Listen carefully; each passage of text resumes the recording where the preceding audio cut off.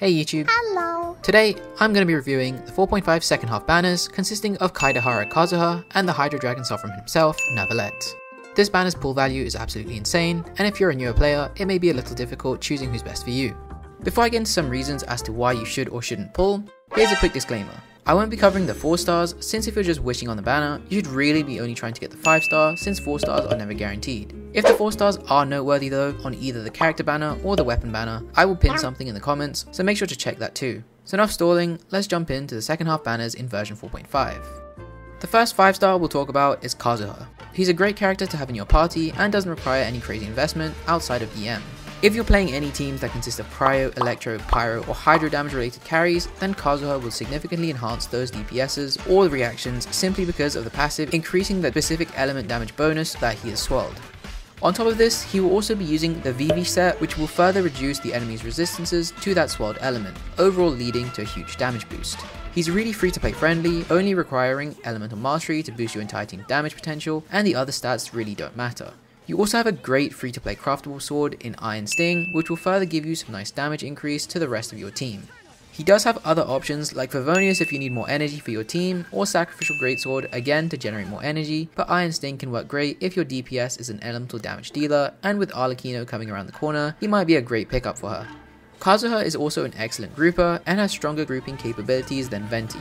He's an extremely fun and flashy character with great animations and really is one of the best characters in Genshin Impact and has been ever since his release and I doubt anyone will power creep him until the very far future.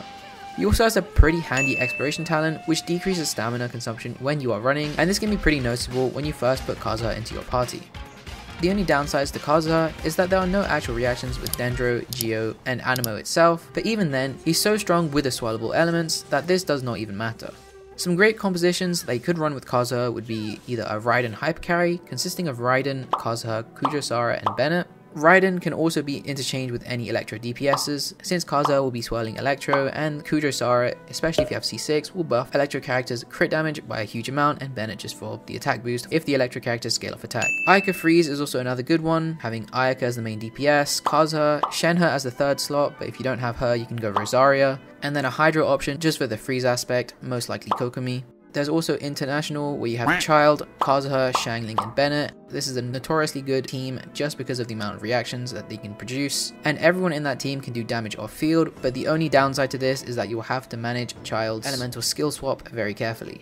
Hu Tao Vape is also another good one if you're looking for another Vape team. This will consist of Hu Tao, Kazuha, Xingqiu, and Yelan. Sometimes may need to swap either Xingqiu or Yelan with a shielder if you don't tend to dodge, which you should really try to do that if you play Hu Tao. And yeah, you get the idea. Any elemental comp that benefits from elemental damage increase or elemental resistance down will perform significantly better due to Kazuha being on your team.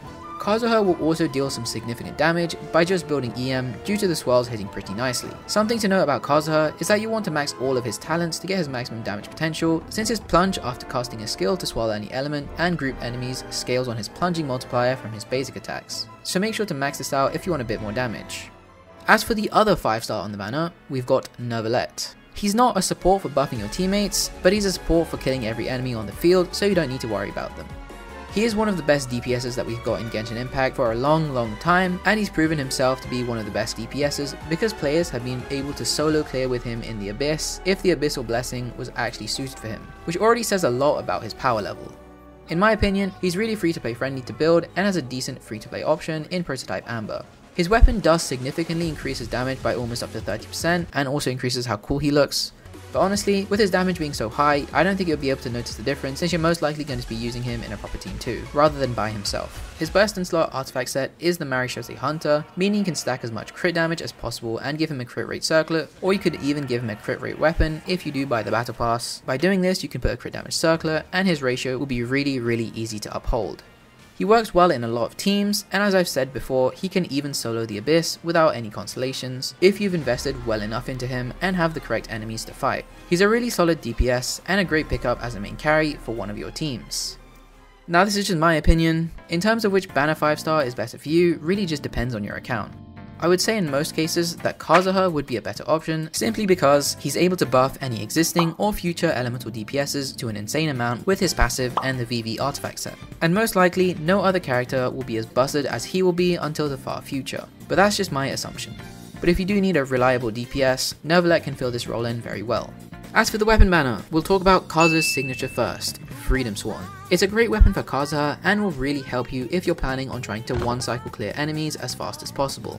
The duration of the buff can last up to 12 seconds and has a cooldown of 20 seconds, meaning it has an 8 second downtime where you won't get either the charge, plunging, normal, or attack damage increase. It will also increase the equipping character's damage by 10%, which Kazuha will deal a decent amount of damage due to his swirls from his ultimate being off field.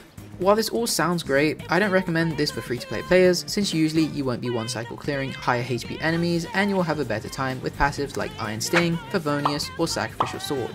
By using these weapons, it will also save you your primos for some better weapons down the line. It will increase Kazuha's own damage and can actually be really useful if you're playing other characters like Raiden, Hu Tao, Neuvillette, Ganyu, and maybe a future character if they use their autos a lot. This weapon typically would be better for whales since it will just amplify your damage even more and if you're close to being able to one cycle and don't have enough damage to push you past the line. Free to play options can work great for Kazuha and you really don't need this weapon to make him work well. The only other good user of this weapon would be Jean, so only pull this weapon if you're a whale or want to try one cycle clearing content with Kazuha. Free to plays, please don't be baited by this. As for the other weapon, we have Tome of the Eternal Flow. The only use case of this weapon is for Neuvillette himself. Yanfei does also use charge attacks for her damage, however she can't increase or decrease her HP at will, meaning you won't be able to stack the charge attack part of the passive easily. So really, if you pull for this weapon, you're only going to do it for Neuvillette himself. It is his best weapon and definitely is a lot stronger than his C1 if you're playing C0 Neuvillette in an optimal team composition where you trigger 3 different elemental reactions. So if you want a bigger damage increase, you should definitely go for the weapon. You should also keep in mind that it's really likely that no other future character will want what its passive does, making this weapon a really niche weapon. It gives Neuvillette all the stats that he wants, being HP, charge attack damage bonus, up to a 42% bonus damage when maxed, and some extra energy to permanently upkeep his burst costs in the correct rotations so you can keep charge attacking. Here's a graph to show you the damage comparisons between Neuvillette's weapons, and I'm sure you don't need me to tell you that it's a really busted option for him.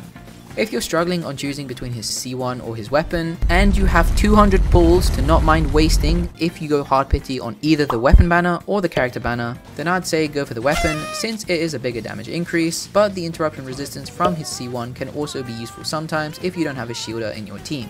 His C1 also allows him to be played in a double Hydro team consisting of Furina, an Anemo character, either Jean, Kazuha or Xianyun, and a flex slot for another elemental reactions so Neuvillette can have his draconic passive maxed when only having 2 reactions rather than 3 reactions. Remember, you shouldn't roll on the weapon banner for 4 stars as they are not guaranteed. Only roll for the 5 stars that you want. If you're not fussed about getting any of these 5 star weapons, you could just wait for a future banner to have even more cracked options together, or just options for other characters that you may have on your account and want their weapon too, to make it more worth it if you lose the 50-50 to the second option. And that wraps up everything I've got to say about the 4.5 second half banners. If you've enjoyed this video or found it helpful, make sure to like this video or even subscribe. It'll help me out a lot. Thanks. Good luck if you're planning on summoning and I'll catch you guys in the next one.